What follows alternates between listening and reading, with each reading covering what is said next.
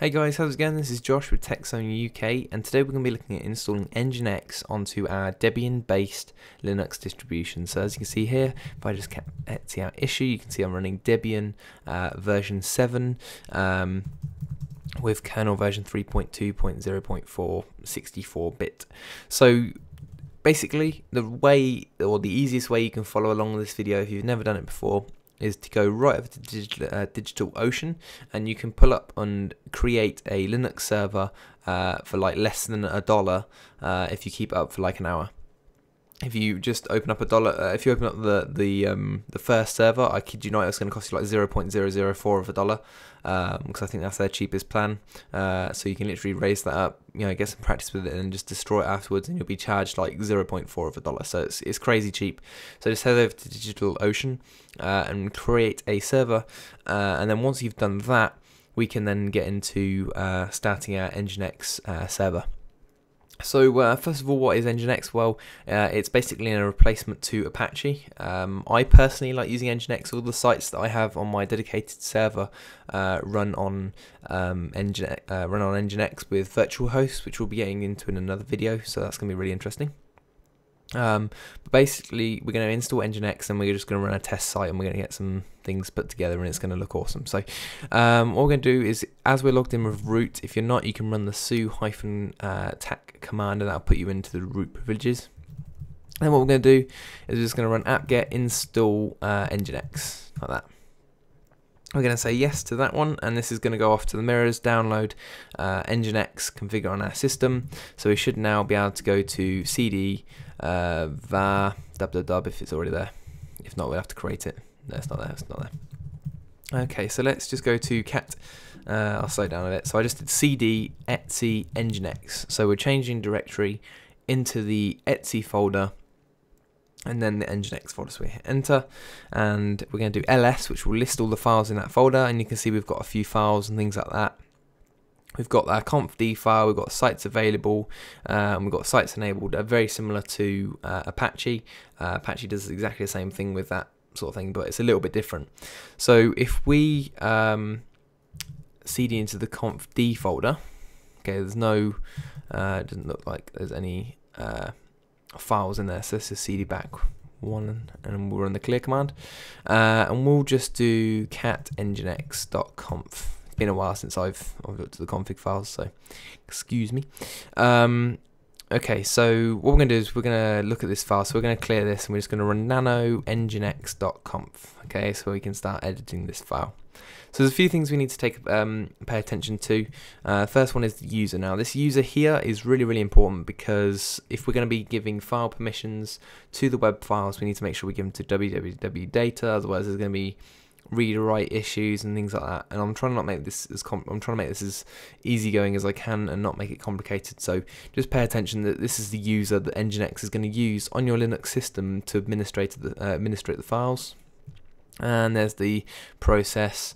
Um, we've got some events here. We've got HTTP with the basic settings. Uh, this is basically just applying globally to all the sites. I'm going to keep going down. And we're going to see what settings we've got at the bottom here. Uh, okay, that's fine. We need to make sure there's an include rule at the bottom, you'll see what I mean. Uh, and here, this is what we want to make sure that we see.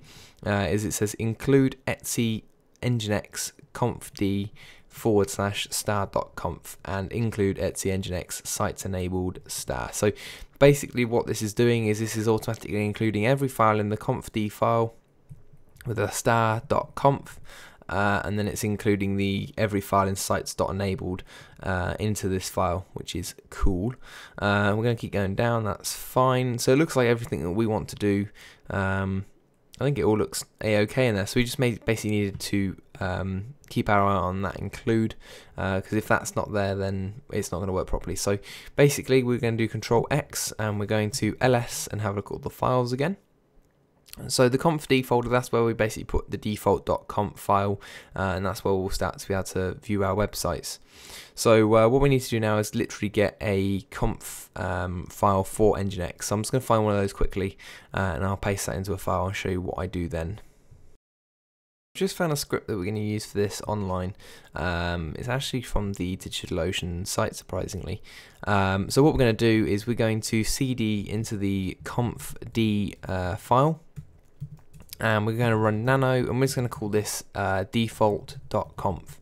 Now notice in the nginx.conf file when we edited it, it said that all, it's going to include all the files in the confd directory that end in .conf. So any file that doesn't have .conf at the end is not going to be included, so it's not going to work. So just make sure you put .conf uh, at the end. So I'm going to hit enter, and we're just going to literally paste the uh, this text here, which I'll put in the description.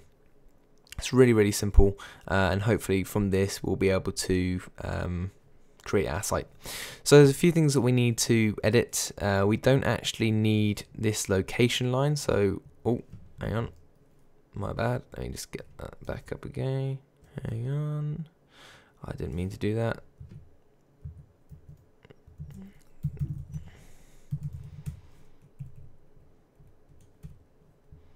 Okay, so what I'm going to do is I'm going to do Control uh, K, which will cut out these lines. Uh, and as you can see, we've got the location. That's fine. We'll keep that in, and the server name. Right. So server name, we can just call this. Um, my site. Well, we'll, we'll, we'll keep it localhost for now. Uh, index will be the index files on our web server. So this will be index.html, index.html. This could be index.php. Um, when you get into using PHP and Nginx, we will be looking into additional configurations to this because you do have to include it in your conf file. Uh, if it's you basically have to install things like PHP upstreams and things like that and make sure they're included. Otherwise, there's going to be problems actually running the PHP code. Um, so just by putting index.php there does not actually make PHP work, unfortunately. So um, here, this this is pretty much all standard. So we're going to be including a, an index file. Um, so all this is saying, basically, we're creating like a virtual host, which we'll get into in depth in the video. But we're just going to be creating one site. So for the root, I'm going to literally create this as var dub dub dub like that. That's where our files are going to go. Um, and we'll go index.html, that's fine. And we'll say control X, we'll say yes, and we'll hit enter. So now if we ls in the confd directory, you can see that we've got a site called default.conf.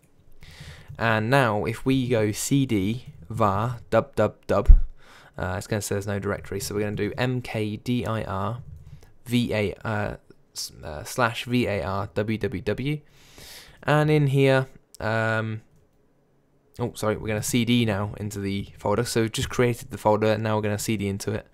Um, going run clear. And in here we're going to make a directory um, and we're going to just call this uh, default okay? Like so. So now if we do nano etsy uh, conf d oh, oh what am I doing? Nginx conf d um, and we need to edit the default.conf in here again we're just going to put a forward slash and we're going to put default like that. Okay? So that's basically saying the root of all our files where are they? So we're going to say exit. And here we're just going to put yes and then we're going to enter. Um, and now if we clear an ls you can see in the www directory we have a folder called default. So we're just going to uh, cd into default. We okay ls and we're going to do touch index.html and this is going to basically um, allow us to create an index file. So this is where now all of our uh, index files uh, or our web files are going to go within this folder. So what we've done just to clarify we've installed nginx which is our web server. We've then created a config file that basically says this is the name of our site. This is where the files are kept and a little bit of backend stuff to Nginx to recognize how to handle those files. Now what we've done is we've then pointed that file or that file to say this is where the website files are. In this case we've made it var www. var www is a standard for Apache, um, so it's just because I went from Apache to uh, Nginx. It's just my my habit of putting them into var.